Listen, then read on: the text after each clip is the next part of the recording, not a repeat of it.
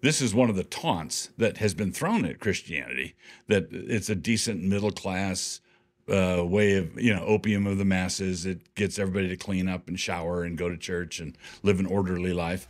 And it's starting to dawn on people that being surrounded by people who worship disorderly gods or gods of raw power is going to be no picnic at all. Welcome to another reaction video. Uh, today I'm going to be reacting to a clip uh, from Richard Dawkins, and perhaps you've seen this clip making the rounds. It's quite striking, I must say. So let's uh, let's consider what Dawkins has to say. Well, I must say I was slightly horrified to hear that Ramadan is being promoted instead. I do think that we we are culturally a Christian country. I'm... That is true. All right, the, I, let's uh, let's have a little fun with this. I'm agreeing with Richard Dawkins. I'm agreeing with Richard Dawkins thus far.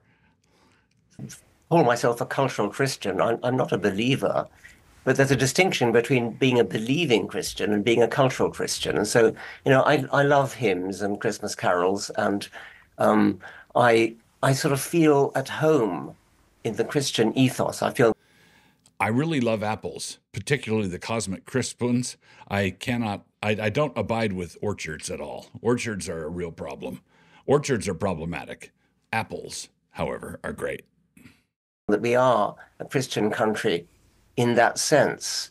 Uh, it's true that statistically the number of people who actually believe in Christianity is going down.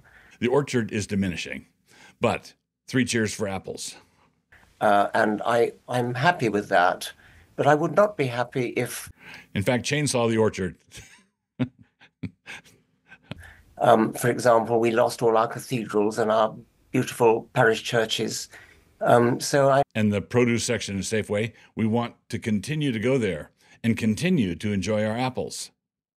I count myself a cultural Christian. I think it would matter if we certainly if we substituted any alternative religion, that would be tr- truly dreadful. Yes, it would be truly dreadful.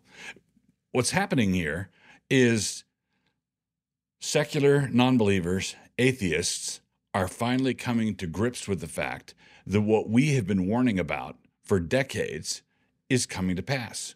And they don't like the fact that it's coming to pass. But I'm really grateful that Dawkins is acknowledging that he at least likes the fruit of the tree. Doesn't believe in the tree, but he likes the fruit. Well, so do we.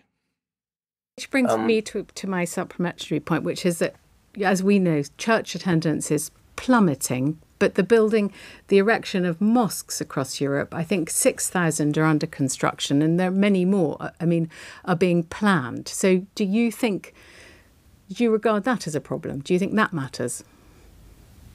Yes, I do, really. I mean, I, I, I, I, I don't, I I have to choose my words carefully. I mean, I, if I had to choose between Christianity and Islam, I choose Christianity every single time. Amen. Okay. Amen. And I would give it maybe 2,000 more mosques being built, and he presents himself for baptism.